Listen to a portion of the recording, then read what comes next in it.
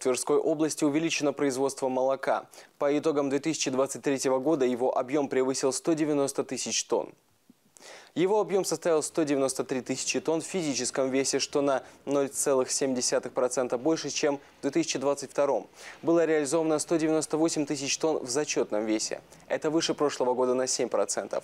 Верхневолжье вошло в десятку регионов России, где удалось не только сохранить, но и увеличить поголовье крупного рогатого скота.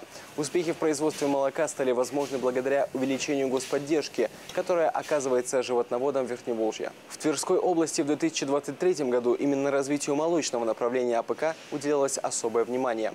Принимались оперативные меры для решения вопросов, возникающих у аграриев, в том числе в связи с удорожанием горюче-смазочных материалов.